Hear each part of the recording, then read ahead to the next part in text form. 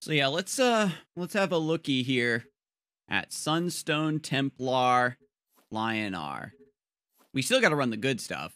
Windblade Adept, Sunstone Templar, Holy Immolation, Lasting Judgment, Fire Spitter. Just dropping a ranged unit in a corner sounds so disgusting.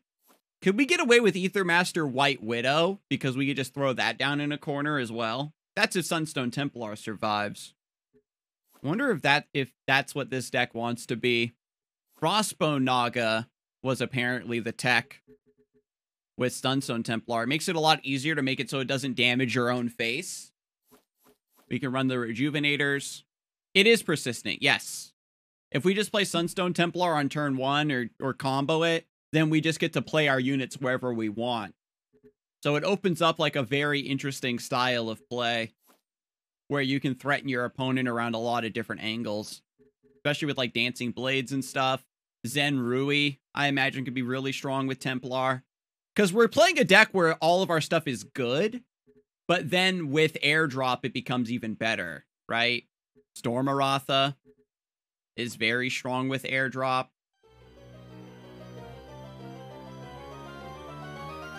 Rook! Rook! Hey, on. If we get Sunstone Templar Florida, Yes! Yes, chat! Yes! If we get Sunstone Templar to stick, we get to uh, annihilate someone with Rook. I cannot wait. That's a nine mana combo. We can do it. We can do it. We can do control Rook combo. Hang on a second. Yes. Yes. yes. Bisian versus Lyonar. Hmm.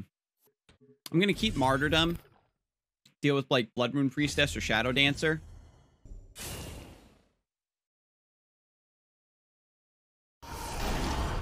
Ooh, they're trying to go for the high roll. I'm gonna play Silverguard Knight on the mana tile. It's a full trade for them, but then they'd have to give up mana to do it.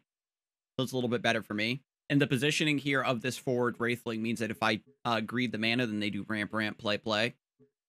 So yeah. Don't forget to end your turn. I guess they're thinking about what to replace.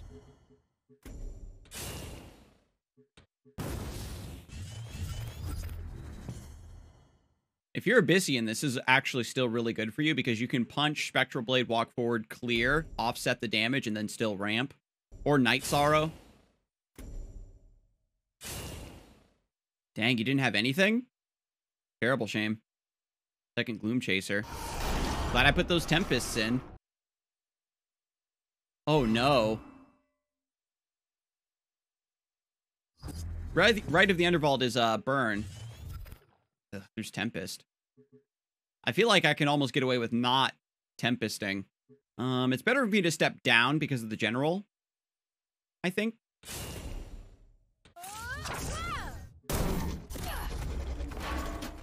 Here.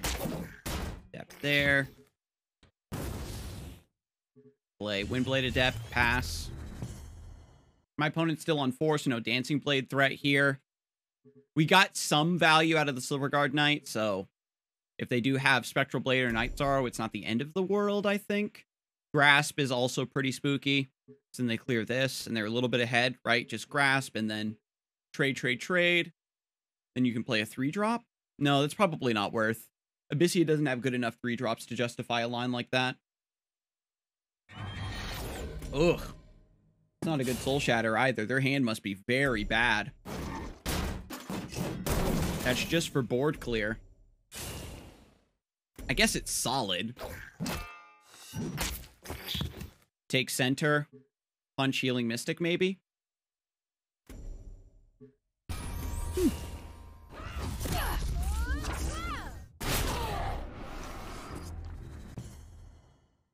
Cool. Um...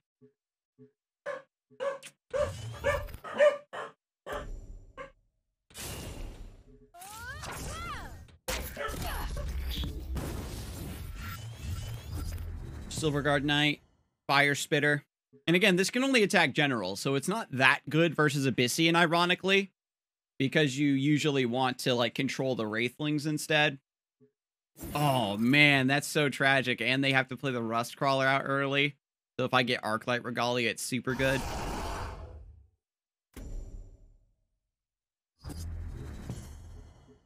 We do have to worry about the Shadow Watcher, though. No, I have Lasting Judgment. We're fine.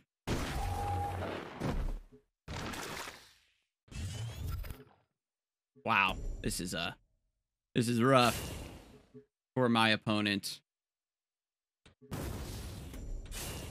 So what I'm going to do is I'm going to go face twice first to pop this Horn of the Forsaken. And then the Silverguard Knight can, uh... No, I actually don't care about clapping the Wraithling. Did my opponent just not get a Wraithling off of the Horn of the Forsaken?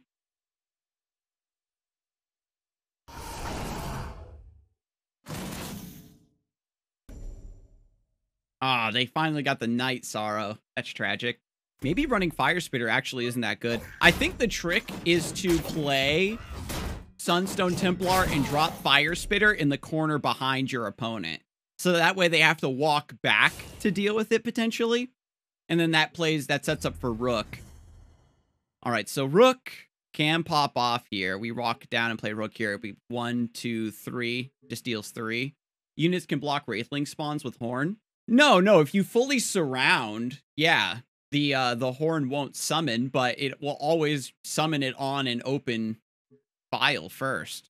An open tile. So I, I'm not sure exactly what why that happened.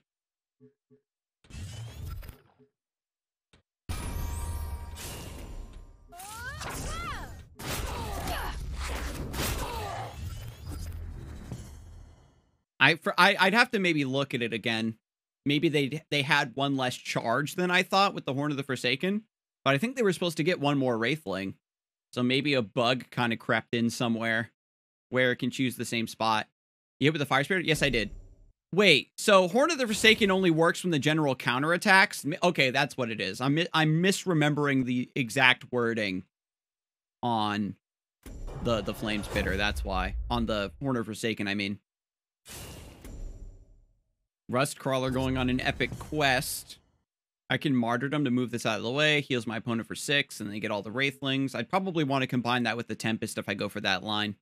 Magnetize would be absolutely hilarious. Walk up or walk here, magnetize this out of the way, walk down, play Rook. I don't have, and I do have mana for it as well. Yep.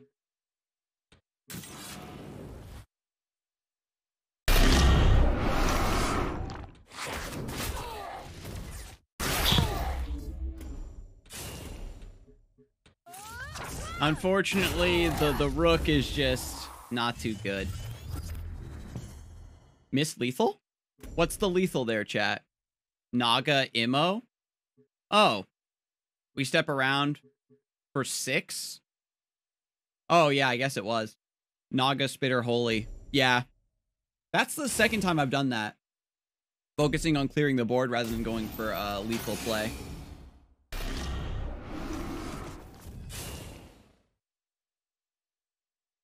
The good news is that if we get Sunstone Templar, we can get a Rook lethal. Come on, Sunstone Templar. Let's see it for the stream. Sunstone Templar. Ah, man. Terrible shame. Man. Actually, let me see. I can do punch.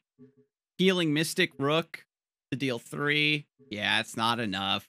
I could walk all the way back and then even Tempest would have been lethal. Tempest or or Sunstone Templar would have set up the Rook lethal. It's still just Naga Imo. I keep forgetting about the two damage from the Naga. I'm so bad. I'm so... Oh my god. I'm struggling, chat. Vetruvian versus Lyonar. All right, we got Fire Spitter. Lasting Judgment. Eh. Jesus. Double Rook.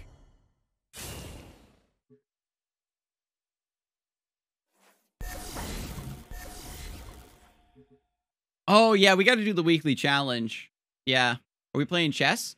Uh, we could play some chess. We got two rooks. I get it now, but yeah, we maybe could play some chess. That's another game that melts your brain. I'm only 800 rated though, so the game should be pretty easy, right? Go, Fire Spitter. Harass my opponent with two damage every turn. My opponent can do double ramp Sand Howler, triple ramp actually. A lot of that's a lot of mana. Wow, that's I think you're overreacting to the fire spitter if you want to Rasha's curse there.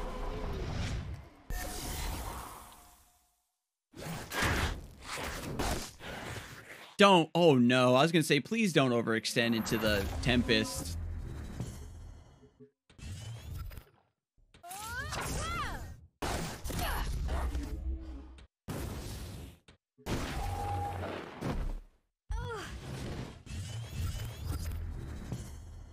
Them using the Rasha's Curse early lets me Arclight Regalia pretty safely.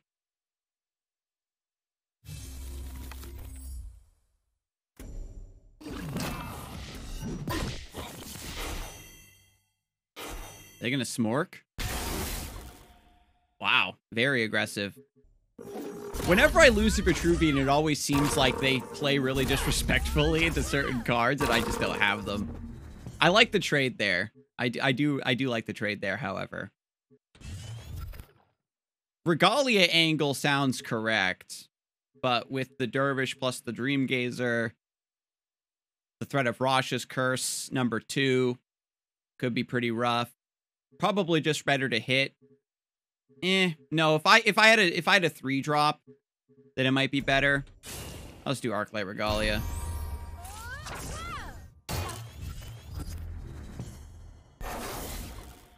Because I can maneuver like this to make it harder for him to block to uh, clear the artifact.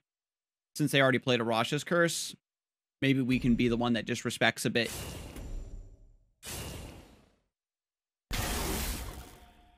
They can take two two charges off if they want to punch with their general here, plus Bone Swarm.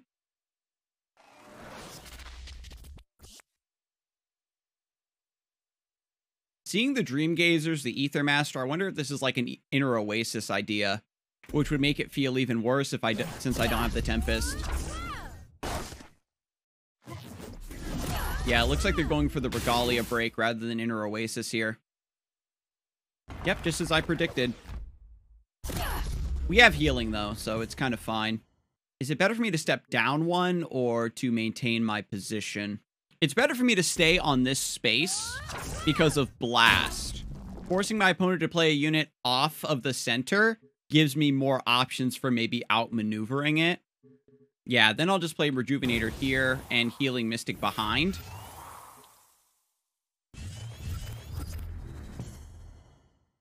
That way they don't get the Dream Gazer double trade into Rejuvenator and then Dancing Blades on Healing Mystic, which was kind of the, the line I was most worried about. They could very easily just have like first wish trade and then like punch punch. Third wish. It's a strong tempo play, but I mean, that's most of your turn, and I'm not under a lot of threat. So that's fine. Dream Gazer, Oasis, Maw for great tempo with Locust and Zariel. Oh yeah, that could be a fun one. Wings of Paradise is lit. Third Wish means that you can actually not take damage from Dream Gazer as well.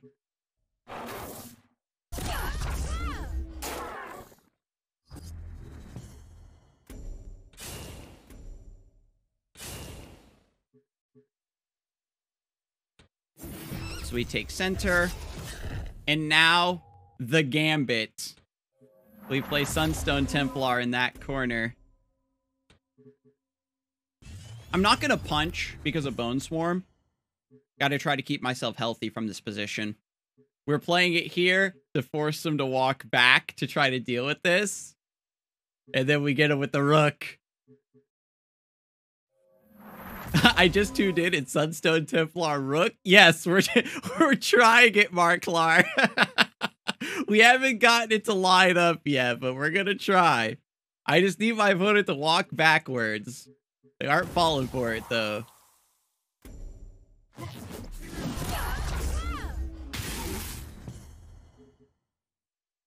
We do have the uh, airdrop Naga. Hmm. I mean, I could just walk here, trade with Dancing Blades, secretly want to play the Silverguard Knight here, but then I'm locking my opponent down. I actually want to give them an option to walk this way. I can do Naga and then trade into the Ether Master. Because they're running Wings of Paradise. There might be White Widow in that deck as well.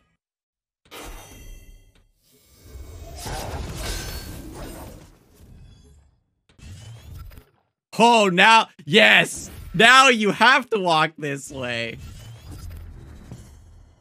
I could have moved the Mystic first to keep it alive. You're right.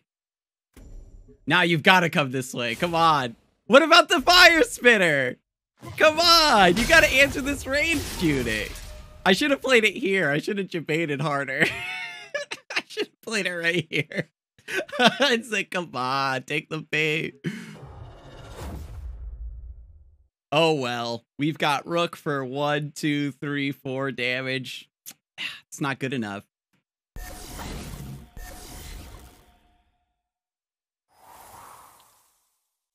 Four, five, six, seven, eight, nine. Yeah, it's not enough. Dang it. I can do Arclight Sentinel, Holy Immolation.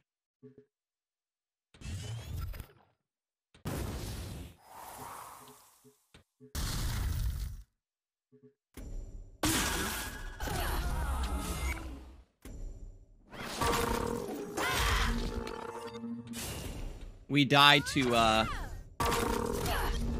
Scion's Third Wish, plus some other stuff.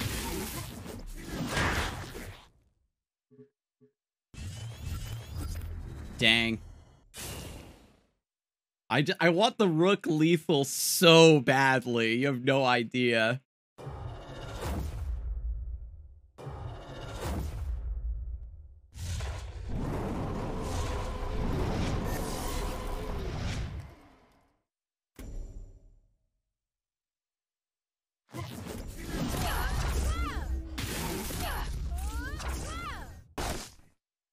All right, we're alive. So I can do Emerald Rejuvenator, Holy Immolation, Punch. No. I guess it's Rejuvenator, Holy Immolation, Trade, Trade.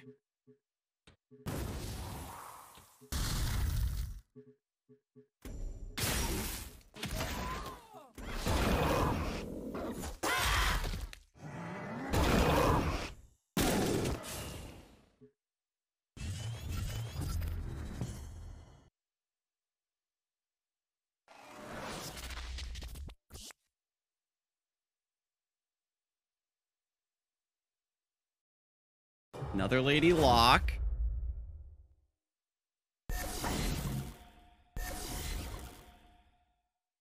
Is this it, chat? do we do we, or do we make it work?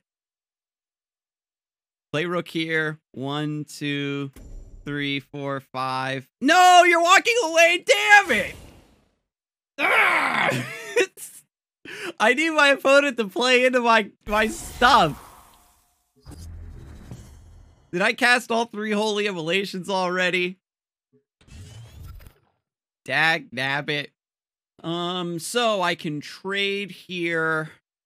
Rook to remove Dervish, maybe? I can play the Rook and it'll walk all the way over here to clear this.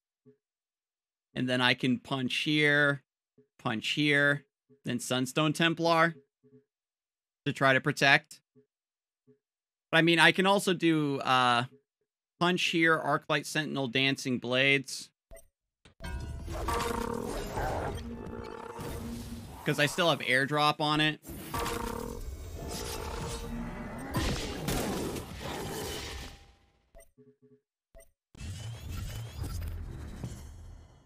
So there is the trade third wish line.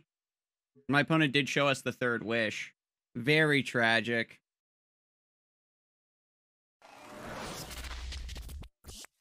My opponent's drawn a lot of cards in this game with the second wish and the first wish. Dream Gazer Ether Master also lets them see more of their deck while also developing board, which is pretty nice. We aren't getting lethal yet, so maybe they're only running one third wish, which it actually kind of makes sense. Third wish is kind of like having entropic decay the way it functions. Just trade a couple points of HP to deal with a big thing. First wish means no time maelstrom as well, which is super important. Is it a quick maths? Oh, dominate will. Okay.